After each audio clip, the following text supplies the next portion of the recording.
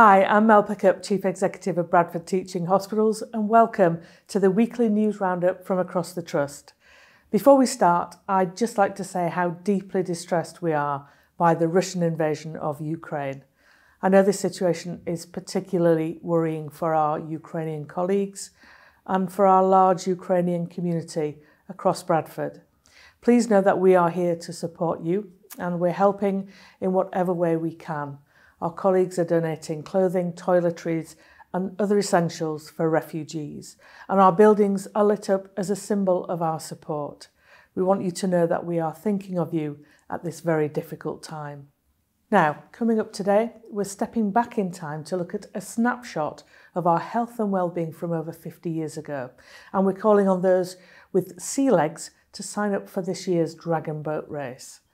But first, Thursday the 3rd of March marked World Hearing Day, a day that promotes ear and hearing care across the world. Here in Bradford, our high-tech Listening for Life Centre, home of cochlear implant technology, transforms the lives of patients not just here, but also in Malawi in Africa. Here's ear, nose and throat consultant Professor Chris Raine, MBE, to tell us more.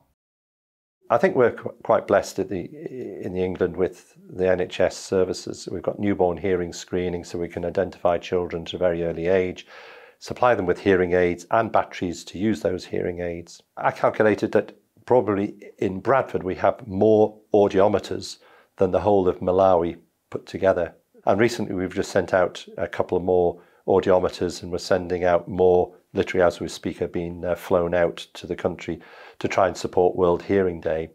We also support uh, in person. We go out to Malawi, well, before COVID twice a year, but so this time we're going out in April for the whole month of April to help with teaching the clinical officers, teaching the audiologists, and su supporting the only solitary uh, consultant out there.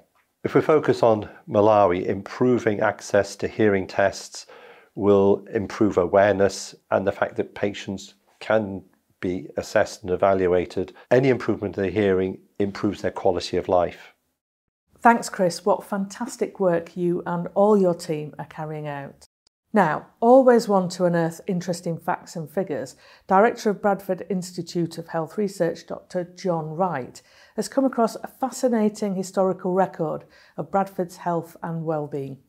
The Health of Bradford 1972 is the annual report written by the Medical Officer of Health and Principal School Medical Officer, and it provides a great insight to how things have changed in half a century. Here's John to explain more. When you look back 50 years, it gives you that sense of how things have changed, how we've improved in terms of health. So, for example, infant mortality back in 1972 was four times higher than it is now. Almost half of births in the city were overseen by GPs. That's a remarkable change. Now nearly everybody gives birth in the hospital, led by midwives. We also have big changes in terms of the city infrastructure. So when you look back at our public health inspectors 50 years ago, they spent their time going around grocers and butchers and bakers. We don't have many of those anymore. It's all supermarkets have taken over. Our statistics in the city show that we are living longer and we are living healthier lives. But they also show how unequal our society has become. So it's the wealthy in the city who are living longer, healthier lives. The poorer are still dying younger and living unhealthier lives. And that's one of the big challenges, tackling that chasm of inequality that's arisen over the last 50 years. Thanks, John. What a fascinating record. It shows we're heading in the right direction by acting as one to create better health and well-being for everyone across our district. Now let's take a quick look around the rest of the Trust to see what else has been happening this week.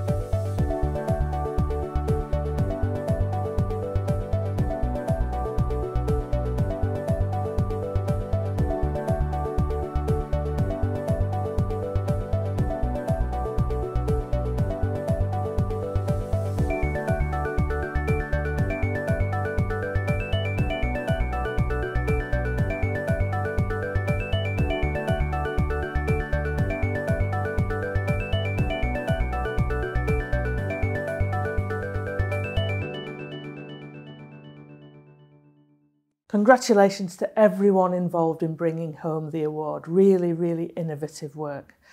Finally, if you are ready to take on a water-based challenge, get ready to sign up. Bradford's Dragon Boat Festival will be back in full swing for the first time in three years in Saltaire on Sunday the 3rd of July. Teams of rowers compete against each other, all in the name of charity, and I'm proud to say that Trust colleagues have always put on a brave performance. Here's Act as One's Healthy Hearts programme manager, Claire Dinsdale, who's taken part before, to fill you in. The Dragon Boat Festival is local organisations coming together um, to support community projects. It just was an opportunity for the teams to get together, do something collectively and raise money in the process. It was really good fun. So there's about 12 to 15 team members with one person drumming, keeping time at the front and the rest of us paddle into that rhythm. And yeah, they do provide the boat. So we just had to practice and then hop in and go. The organisers of the Dragon Boat Race have a website and you go onto that and it gives you all the information required about entering and how much it costs to enter your team. Once you've completed all the forms and waivers, then you're good to go, really. It's very straightforward. The Bradford Hospitals charity then asked us if we would raise money for them, and that's what we did. And each different ward in the hospital that applied then started fundraising. I would highly recommend being part of the Dragon Boat Race. It is a fantastic family fun day out. You get to do team building and you also get to fundraise in the process. So it's a really good cause. It's fantastic. Thanks, Claire. And if you would like to sign up to take part in the festival, please go to the link on the screen now. Well, that's it for this week. Don't forget, all our latest news and updates can be found on our social media channels Twitter, LinkedIn, and Facebook. Do look after yourselves and your loved ones, and I look forward to seeing you again this time next week. Bye bye for now.